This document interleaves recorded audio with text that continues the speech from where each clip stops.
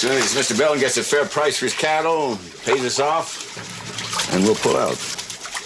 That wild cattle hunting's got to be pretty hard work. You sure old Cap's up to it? Old Cap.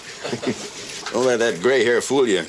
You'll make the three of us We're just trying to keep up with him. I've been working from the inside out. yeah, looks like Mr. Belden's found a man wants to pay top dollar for the cattle.